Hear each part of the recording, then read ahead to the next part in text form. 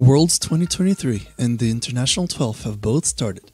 The spectacle and excitement behind both tournaments is deserving of all of the hundreds of thousands of viewers they get each year, and I'm personally excited for this TI. It's taking place in Seattle, my home, my precious city of debauchery. Hey yo, what the fuck? But what professional Dota is missing is a guide for non Dota players to enjoy watching a tournament for their first time. If you're a League player and are interested in watching some Dota 2 tournament games this fall, I'm here to help. Here is everything you need to know to watch Pro Dota as a League of Legends player. Join me as we take a look at a recent game between Shopify Rebellion and Team Spirit. Drafting in Dota is far more involved than anything you might see in League tournaments.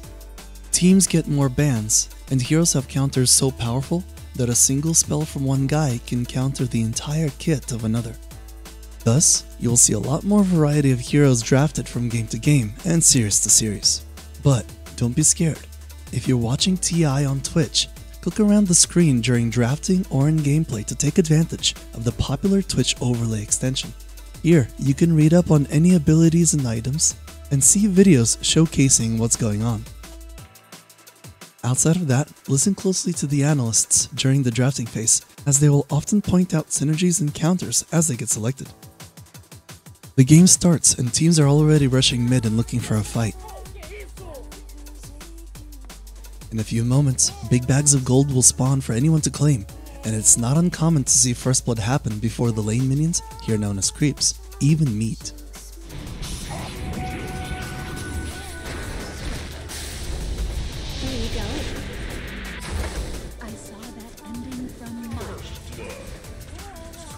The meta laning of Dota 2 sees both top and bottom having one core and one support heroes.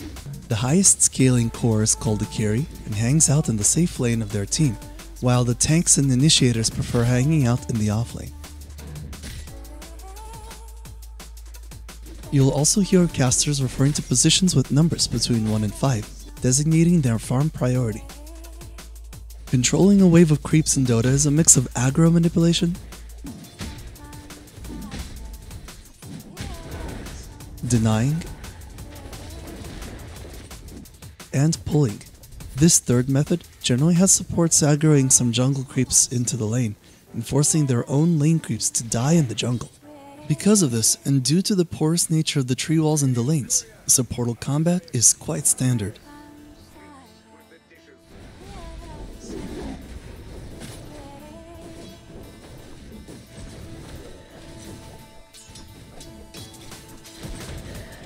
Every couple of minutes, powerful buffs will spawn near the middle lane, and it's pretty common for a few supports to conveniently show up and contest this power. Looks like they're going after Dire's middle tower.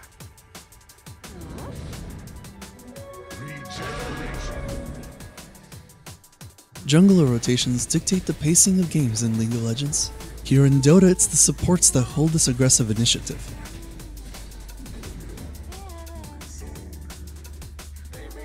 Supports also like to glitch the jungle into spawning extra sets of creeps. We call this bug, I mean feature, stacking camps.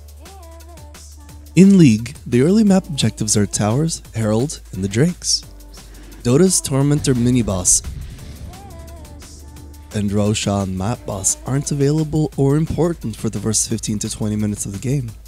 So instead, the objectives consist mostly of claiming map control and hunting priority targets.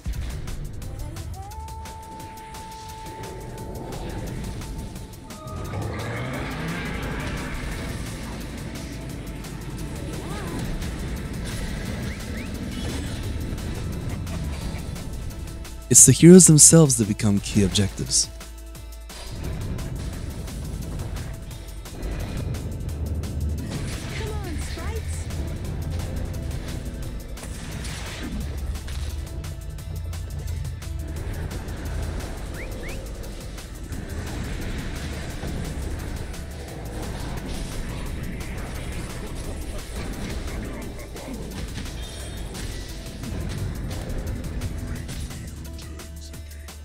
Roshan doesn't give a Baron buff when killed, but instead drops a one-time use Guardian Angel item called the Aegis of Immortality. With it, a team can fight what is essentially a 6 versus 5 engagement, as well as more safely push towers. Top tower is under attack. The Dire have actually slain Roshan. This won't be pretty. Get ready, everybody. He's about to do something stupid.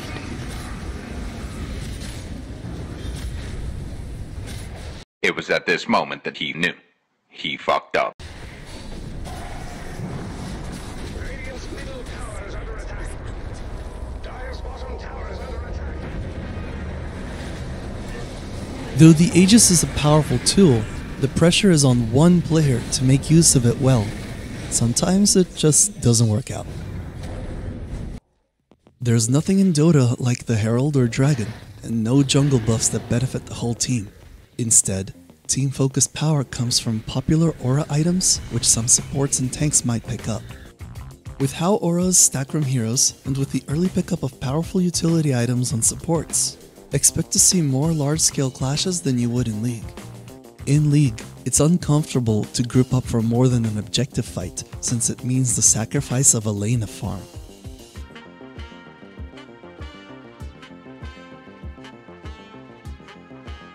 In Dota, the power a coordinated team can output vastly overshadows the potential power gained from farming and non-stop.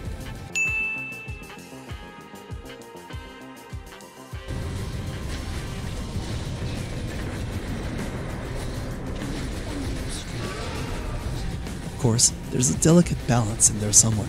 Just know to expect a lot more skirmishing and team fights between teams in the international than those at Worlds. Items and builds play a crucial role in the mid and late game of Dota 2. Here are some items you should be on the lookout for. Black King Bar, or BKB, grants crowd control immunity and magic resistance. Just watch for this big yellow glow to see it's active.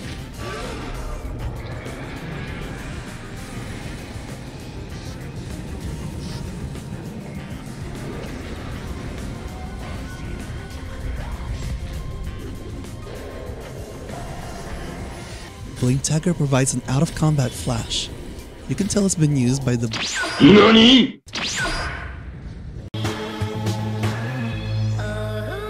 is she?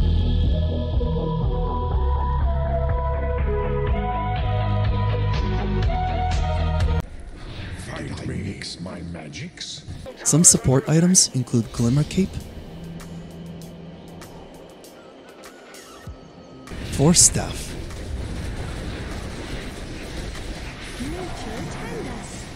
and the Ghost Scepter.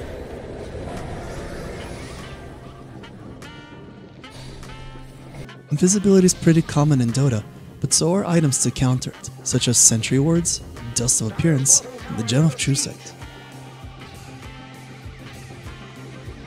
Okay, team fights are happening, but you still feel overwhelmed with all of the stuff on the screen. Instead of focusing on a single ability, think about the fights in a more broad manner, like if a core gets stunned for a long time, or which team has the better vision. Dota's team fights follow a few common principles. 1. Engage range in Dota is massive. If someone's out of position, they may quickly die. 2.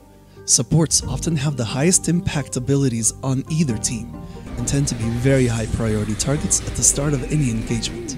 Teams will avoid the standard front to back line of scrimmage you're used to in league games and instead try to dissolve the fight into a rush for the supports or anything else fragile and out of position.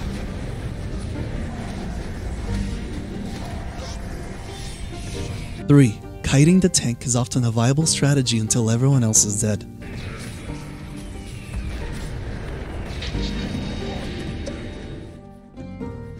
The late game, it's very common for the ADC to also double up as a tank.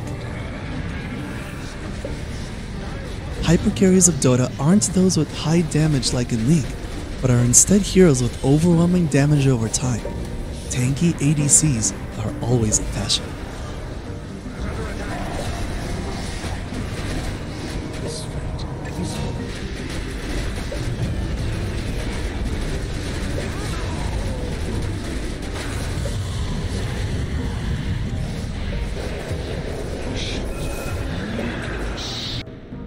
Okay, the teams have bought their items, killed Roshan, and are ready to push.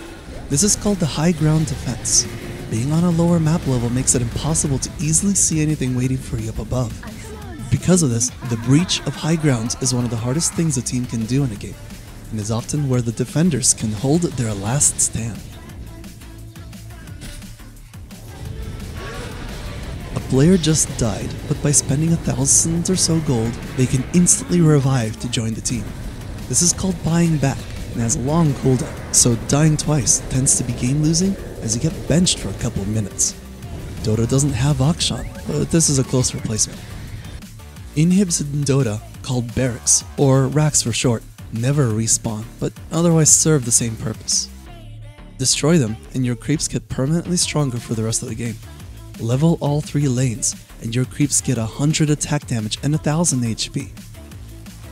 Mega creeps can slaughter most underfarmed heroes. It's rare, but a glorious feat for a team to win against mega creeps. Looks like a team defended well, and there is a chance for counterattack. In Dota, there aren't any catch-up objective bounties. Rubber band mechanics are instead built into the kill bounties, which take into account the net worth difference of both teams and the net worth of the winning team. Comebacks are a lot more common in Dota than in League, since item scaling is usually an indirect buff to your hero power as opposed to a direct damage buff to abilities like League. There is always a chance for a team to take the game back. It's never over until an ancient explodes or a team types good game or GG in all chat. This is Dota's forfeit mechanic and is pretty standard in professional games. It's actually really common to see games end before teams ever do damage to the core of the base. And so, one game ends and another begins.